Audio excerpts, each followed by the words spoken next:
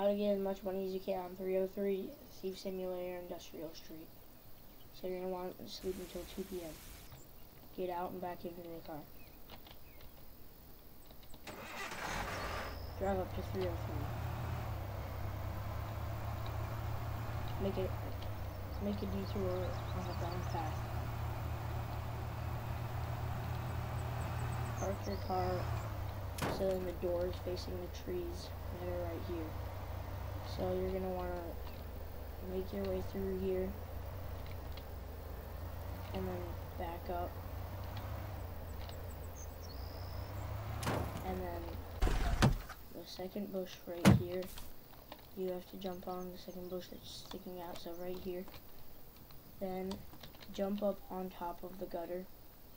Don't make sure not to fall and then get on there just jump and get on. Then take this black wallet on this bench by the way all this respawns, so you can do this as many times as you want. Take this black and brown wallet right here. And get this PC display. Get another PC display and one more. Three PC displays, three wallets. So that's already 18 pounds. So then you're gonna want to take three PC mouses, three three PC mice, right here. On the desk, and then make your way over to these desks. The Noble, the softbox software, then also the scanner. Then open up this window. Make your way through here.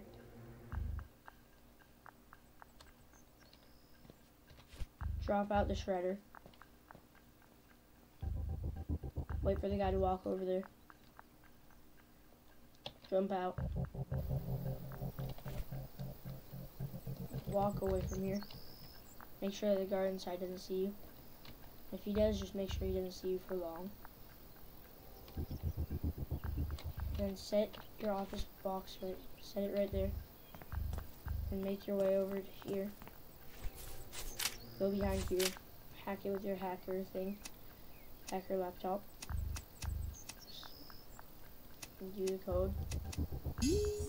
And then once the guard is walking back over there like he is right now, and go back to the cargo containment thing, and get your office shredder and then put it in your car and get to the pawn shop. That will be $16,500 $16, in two minutes. Thanks for watching.